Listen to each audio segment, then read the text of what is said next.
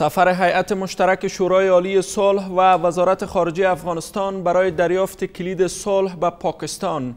شورای عالی صلح اعلام کرده که یک هیئت مرکب از این شورا و وزارت امور خارجه کشور برای دیدار و گفتگو با مقامات پاکستانی در مورد پروسه صلح افغانستان و جلب حمایت عملی آن کشور در پروسه صلح افغانستان روز سه شنبه هفته جاری به اسلام آباد سفر می کند و از پاکستان برای حمایت و همکاری در پروسه صلح به رهبری و مالکیت افغانها تعهد قوی خواهند گرفت. من رازقیار هستم و مهمانانم برای بحث بیشتر این موضوع.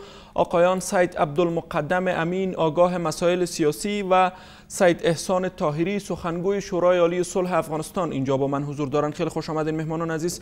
آقای تاهری آجندای سفر هیئت مشترک شورای عالی صلح و وزارت خارجه افغانستان با پاکستان چه است؟ بسم الله الرحمن الرحیم. سلام خدمت جناب شما جناب آقا سه بزرگوار همکاران تان مردم عزیز افغانستان سلامت باشید. لحظات همگی بخیر باشه. جناب داودزای صاحب در رأس هیئت سه نفری که امرایشان میرن انشاءالله که روز سه شنبه به پاکستان سفر می‌کنن بر اساس امو هیته صلاحیت وظیفویشان که نماینده خاص رئیس جمهور در امور منطقه‌ای برای اجماع صلح هستند سفر خود از پاکستان شروع کردن بعد از اینکه از پاکستان کابل میان باز بحث کشورهای دیگر را شروع می‌کنیم که به کجا سفر بکنن در اونجا که میرن دو اجندای محوری مورد بحثشان یا هم در سفر که اونجا میرن نشست می داشته باشن با مقامات پاکستانی دو موضوع مورد بحث قرار می‌گیره. یکی که در رابطه با چگونگی همکاری ها یا حمایت قوی پاکستان در اجماع صلح افغانستان در حد منطقه چی کارهایی را می‌تونه پاکستان بکنه و چی چی همکاری را ما از پیش پاکستان تقاضا داریم که انجام بدن. و بحث دوم که خیلی مهم است که حمایت عملی یا برداشتن گام های عملی پاکستان در رابطه با آغاز مذاکرات صلح بین حکومت و طالبان خیلی ممد و موثر است. پاکستان در این نقشش چون میزبان و مهماندار رهبری طالبان مسلح افغان است در پاکستان بدون شک رهبری طالبان یا هم رهبری تحریک طالبان افغانستان در پاکستان موجود هستند و پاکستان میزبان و مهماندار اوناست. به او خاطر رول عمده ممد و مسمر در پروسه صلح افغانستان داره و تعهدایی که بر ما کرده تا بال تطبیق نشده روی او بحث میشه که گام های عملی پاکستان که در اواخر برداشته را او را بیشتر بسازن زیادتر بسازن تا اینکه ناامنی افغانستان سرایت کرده به پاکستان بیشتر نشه و صلح افغانستان به منفعت پاکستان. آقای امین دیدگاه شما چی است واقعا چی که شورای عالی صلح می‌خواد دنبال بکنه در سفرش به پاکستان به دست خواهد آورد؟ بسم الله الرحمن الرحیم عرض ادب خدمت شما جناب طاهری و بینندگان محترم تلویزیون ما فکر می‌کنم پروسه صلح در افغانستان از ابتدا تا الان یک پروسه ناکام بوده و قسمی که پروسه جنگ هم یک پروسه ناکام بوده و عملا وضعیت کنونی طوری ایار شده که چی در پروسه صلح چی در ختم جنگ بحث افغانستان و بحث مردم افغانستان و بحث دولت افغانستان اصلا در حاشیه قرار داده شده. یعنی شما ببینید که طرح جنگ هم چون یک طرح افغانی نبود.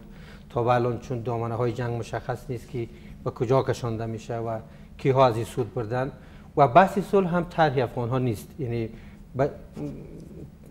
طوری وانمود می‌کنه که گویا هم طرف مقابل دولت و هم خود دولت اینها ماموریت های جنگی و ماموریت های سیاسی و روی منافع کشورهای منطقه و جهان بودن. طرح هست کی است من فکر می‌کنم که الان هم که کشورهایی که زینف هستند در قضای افغانستان چون برای فعلا افغانستان یک کشوری که تعدید است برای کشورهای منطقه حتی برای منافع امریکا شما لحنی دونالد ترامپ در رابطه با قضای افغانستان در رابطه با یک نیم ده جنگ گذشته شنیدین مداخله روسیه و مداخله کشورهای منطقه آغوش بازی جمهوری اسلامی ایران برای برای طالبان. اینها همه به نوع سوال برانگیز است. به این معنا که دولت افغانستان با تمام نیازهایی که در محوریت قدرت افغانستان قرار داره اینها اطلاعاتی دست اول از جنگ و صلح افغانستان در اختیار نداره پس بازیگر اصلی کی است آقای بازیگری اصلی اینجا چند کشور می‌تونه باشه؟ اونمو حوزه ای که در رابطه با مقاومت مردم افغانستان در برابر اتحاد جماهیر شوروی از مجاهدین حمایت کرده بودند اونمو حوزه با قوت خود از طالبان حمایت می‌کنن که در رأس این کشورها می‌تونه پاکستان نقطه محوری داشته باشه پشت سرش عربستان سعودی به همین شکل امارات متحده و قطر. و که برای فعلا نتیجه نخواهد داشت برای فعلا همین چهار کشور حساس شدن و از از دولت جمهوری اسلامی افغانستان هم ایالات متحده امریکا حمایت می‌کنه. ما فکر کنم اگر اینا به یک نتیجه کلی برسن و یک ساختار سیاسی در رابطه با افغانستان که تهدیدی برای کشورهای منطقه و جهان نباشه حتی با روسیه و امریکا ما فکر کنم در اون صورت می‌تونه که یک روزنه امیدی برای رفتن برای ختم جنگ بوده باشه. اما این که حیات های دولت و جاهای مختلف میره یا شورای عالی صلح میره ما فکر کنم که بیشتر می‌تونه جنبه از راز حقوقی چون دولت افغانستان یک دولتی که عضو جامعه جهانی است یک دولتی تقریبا مشروع است و ای باید از مردم افغانستان نماینده کنه نیاز است که بعد از لحاظ تشریفاتی این خطا را این تعقب بکنه. اما از لحاظ تاثیرگذاری که در ماهیت گفتگو دولت افغانستان چه شورای عالی و چه نیادهای دیگری شریک بوده باشه ما فکر کنم که کاملا منتفی است. چی از پاسختان آقای تایری خب سفرهایی را که شما روی دست دارین منتفی هستند چون نه رهبری و مالکیت جنگ به دست افغان ها است و نه هم رهبری و مالکیت صلح بازیگر اصلی به گفته آقای امین کشورهای دیگه هستند خب در پروسه صلح افغانستان ما احترام داریم نقد و نظر چون پیشنهاد بر ما باید داده شود راهکارهای ما باید تغییر بخوره. بر اساس پیشنهادهای مردم نقد که می‌کنن قابل لمس است قابل درک است احترام وارد میشه برشان و ما خوش هستیم که هر لحظه بر ما نقد ها بیاید تا اینکه ما بتانیم خود اصلاح بسازیم. اگر در پروسه کدام مشکل می داشته باشیم. اما امروز بحث جنگ و اینا را ربط میتیم بر سکتور امنیتی. بگذارین به اونا صحبت شود. اما در رابطه با صلح افغانستان چون صدای ما صدای صلح هست کار ما کار صلح هست و پروسه صلح افغانستان است. امروز شما می‌بینید که صدای مردم افغانستان وقتی که واحد شد جامعه جهانی مجبور شد بپذیرند. که پروسه صلح به رهبری مالکیت و حاکمیت افغانستان مورد تاییدشان قرار بگیره. دیروز چون این چیز نبود حمایت می‌کردن همکاری می‌کردن اما خودشان تصمیم گیری می‌کردن در رابطه با صلح افغانستان. امروز خوشبختانه از زبان هر رهبر از کشورهای منطقه و جهان وقتی در بحث ها یا در کنفرانس ها می‌برن میگن ما او پروسه صلح را حمایت می‌کنیم که مالکیت حاکمیت و رهبریش به افغانستان باشه. این ای کار در یک شبانه روز به وجود نیامده. از روزی که شورای صلح افغانستان تشکیل شده جناب استاد استاد ربانی شهید رئیس اولشان بود. بعد از او جناب وزیر خارجه که فعلا وزیر خارجه هستن رئیس شدن. بعد از او جناب پیرس مرحوم. امروز هم جناب استاد خلیلی که است و جناب داود زیسب تا به حال کار شد و در یک سال گذشته خیلی کار شد تا یک اجماع قوی تر شود. علمای جهید جهان اسلام به اولین بار در تاریخ جهان اسلام به اولین بار در تاریخ سازمان همکاری کشورهای اسلامی صدای واحد بلند کردند که جنگ افغانستان خلاف خلاف شریعت است خلاف کل این موارد را آقای امین منتفی گفتن. خب بس گفت اصل مسئله به دست دیگرا است تا ما بح بحث بدون شک بحث نقد ما پیشتر گفتم قابل احترام است. ولی ما خب ما ضرورت داریم بر ما پیشنهاد و طرح داده شود وقتی اگر ما در راه درست نیستیم راه خوبتر بر ما بگوین مهمی است که ما تانستیم چقدر تغییر بتیم پروسه صلح افغانستان.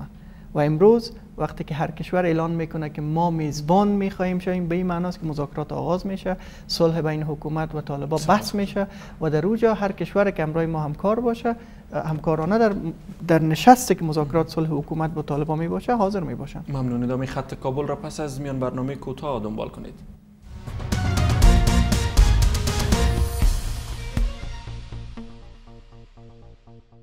ادامه برنامه آقای امین. خب دو تا بحث است. یکی که آقای تایری گفتن اگر ما در راه اشتباه میریم بیان شما طرح را بکنین. چی بکنن اینها در کنار از این بحث اساسی است که پاکستانی ها چقدر به تعهداتی که به حکومت افغانستان و به شورای عالی صلح میتب عمل صادقانه خواهند کرد. ببینید بحث پاکستان در در سیاست خارجی افغانستان هنوز مشخص نشده که طالبان که پاکستان در چه موقعیتی است. حتی دولت افغانستان در یک نیم دهه جنگ و صلح که فراز نشیب های زیادی را هم طی کرد و ده ها کنفرانس های بین المللی را حضور داشتند. ولی یک تعریف مشخصی که تانسته باشه از تاریبی را کنه به مردم وجود نداشت. اما طرحی که می‌خوام داشته باشیم او است که در نظام های دموکراتیک شما می‌بینید که قانون اساسی تکلیف تمام گروه ها تمام شخصیت ها و تمام نیادهای ملی و دولتی را در برابر یکدیگر مشخص کرده. قانون اساسی به عنوان یک نقطه وصل در میان تمام حرکت های متخاصم گونه چی مسالمت آمیز یعنی جوابگو هست. بنان یک مشکلی که ما افغان ها داریم قانون اساسی در سطوح بالا نقض میشه. نه شورای عالی سر بر مبنای قانون تشکیل شده و نه نظام سیاسی شما بر مبنای قانون اساسی شده و نه پارلمان شما بر مبنای قانون اساسی شکل گرفته. بینن ما یک در یک خلای قانونی و در یک خلای مدیریتی قرار داریم. اما در نظام های دموکراتیک افکار عمومی تصمیم گرفته است. اگر ما زمینه را مسائل می‌کنیم در قدم اول دولت افغانستان یک بار جایگاه خود در یک در یک گفتمان اکادمیک در یک گفتمان ملی مشخص می‌کرد که آیا واقعا متعلق به ملت است. اگر بحث مالکیت مطرح شود خب طالبان هم خود افغان می‌دونن خود مالک این سرزمین می‌دونن گروه های دیگری هم هست ده ها حزب سیاسی است که در برابر دولت قرار داره اینا خود مالکی افغانستان می‌دونن چون جایگاه سیاسی افغانستان به عنوان یک به عنوان یک واقعیت سیاسی در عرصه ملی و بین المللی قابل سوال است. بعد می‌بینید در رابطه با شورای عالی شما در سوره حجرات یک بحث از لحاظ شرعی کاملا مشرع گروه سوم یا خط سوم زمانی می‌تونه تاثیر گذار باشه که او به مردم اعتماد خود باید باید اعتماد خود منسجم بسازه اعتماد خود برا بیاره و به این معنا که ای باید معرفی کنه خدا که متعلق به دولت نیست متعلق به گروه های متقاسم نیست. خب اینها قدرت خودم قدرت خودم جایگاهش بیشتری باید مردمی داشته باشه که تاثیر خود در حالی که اگر اینها پیشنهادایی می‌کنن اگر دولت یا گروه متقاسم هر یک طرفی از اینا اینا بغاوت می‌کنن شورای عالی یا خط سوم اینا می‌تونن به ایمان یک گروه مقتدر اقدام بکنن. که این یک بحث بسیار کلان شرعی است. اما در رابطه با مسائل با مسائل حقوق قوانین اساسی کشور بازم ما خدمتتان عرض کردم که نهادهایی که ارتباط به دولت داشته باشه در, در میان جنگ و صلح نمی‌تونن تاثیر مثبت تشکر. آقای تایری فکر نمی‌کنین که آوردن صلح در افغانستان از توان شورای عالی صلح و حکومت افغانستان بلند است مخصوصا با طالبان به دلیل از اینکه خب بحث صلح افغانستان حالا یک حیثیت جهانی به خود گرفته از آمریکا و روسیه و ایران گرفته تا پاکستان و کشورهای دیگه حتی ترکیه حالا می‌خواد نقش بازی بکنه. فکر نمی‌کنین که با توجه به تمامی این مسائل شما دیگه نمی‌تونین؟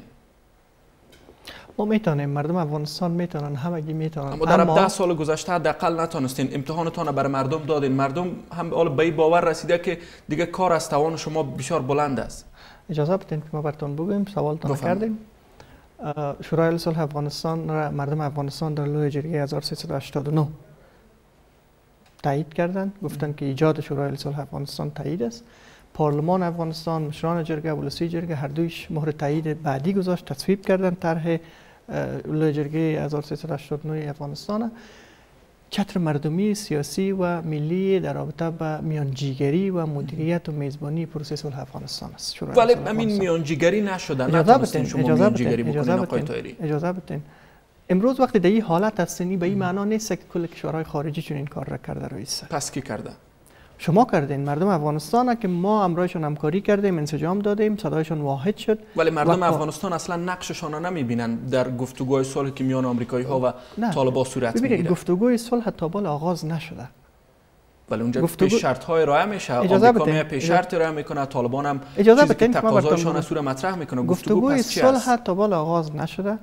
امریکا وقتی که بر ما گزارش داد دکتر سبزلمای خلیلزاد در نشست اخیرشان که خیلی مهم هم بود آمدن گزارش دادن گفتن که ما شنیدیم گپای طالبا را در آخر ما گفتیم که ما شنیدیم. اما مذاکراتتان با حکومت آغاز کنین شما و حکومت و مردم افغانستان تصمیم می‌گیرید.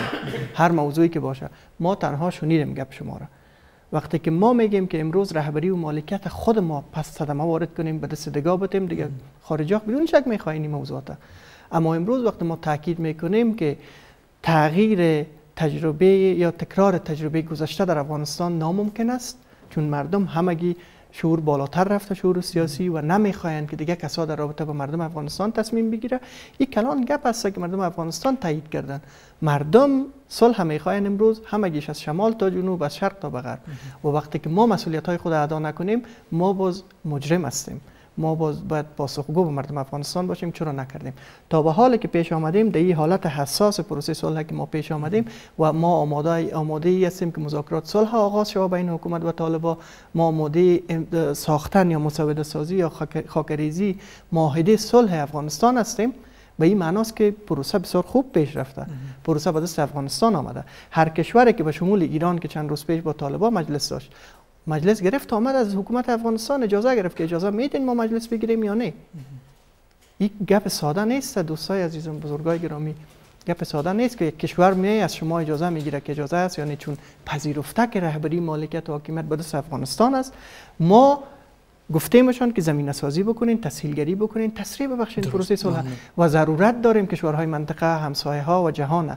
تا اینکه در پروسه صلح افغانستان بود خارجی ما کم جنجالی است. تا اینکه فشار وارد شود سر اخلالگر پروسه صلح افغانستان که هر کشور باشه. آقا این چقدر کشورهای منطقه مخصوصا خب کشورهایی که دست درازی می‌کنن با گونه و با طالبا میشینن بر سر مسئله صلح افغانستان در حقیقت باور دارن که باید صلح بر رهبری افغان ها صورت بگیره خب درست از اونها به زبان هر بار تاکید می‌کنن به حکومت افغانستان میگن ولی باز وقت مردم می‌بینه اونها حیات طالبا میره به او کشورها مثل یک کشور مستقل دیگه که یک حکومت مستقل دیگه که طالبا باشه به اونها می‌بینه و این مسائل مطرح میشه. افغانستان هنوز در بازی های سیاسی هدف نیست یک وسیله است.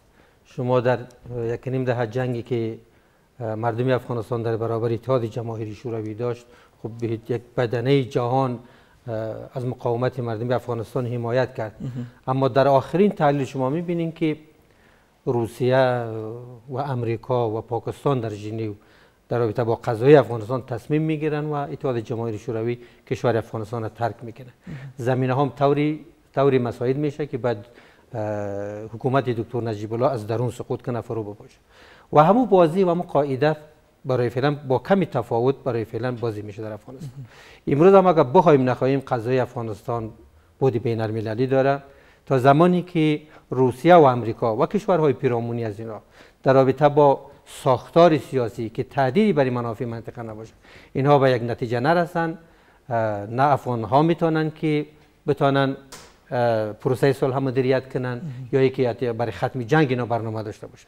من تعریفی که از سه جریانی به نوی سیاسی در افغانستان دارم یا تا حدودی که خیلی کسایی به روند موافقن طالبان یک جریانی جنگی و اجرایی است و دولت افغانستان یک پروژه یک پروژه به اصطلاح تجارتی است.